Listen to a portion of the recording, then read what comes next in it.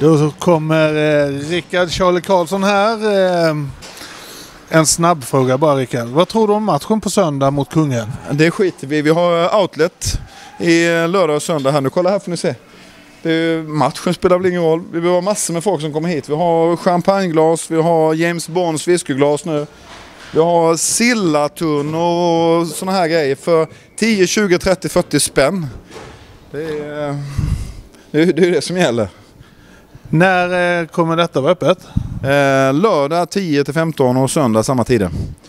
Men vi måste väl få ett tips om matchen i alla fall på söndag. Vad tror du? Ja, jag tror vi kommer ha 2000 besökare här på outleten mellan, mellan 10 och 12 faktiskt imorgon. Så att här gäller det att vara med på, på, i rappet alltså.